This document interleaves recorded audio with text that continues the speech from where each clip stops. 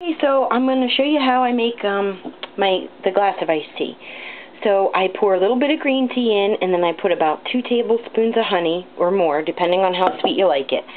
And then you take this little bit, and you throw it in your microwave for about 20 to 30 seconds so that your honey melts and will disperse all throughout your tea.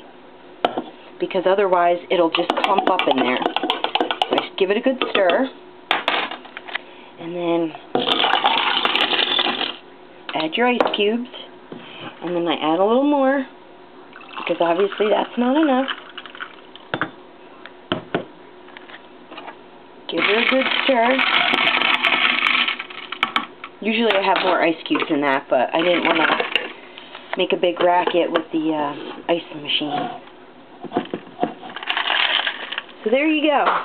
You got your yummy Arizona green tea with honey. And I got mine in my snazzy cup, which I absolutely love, with a straw.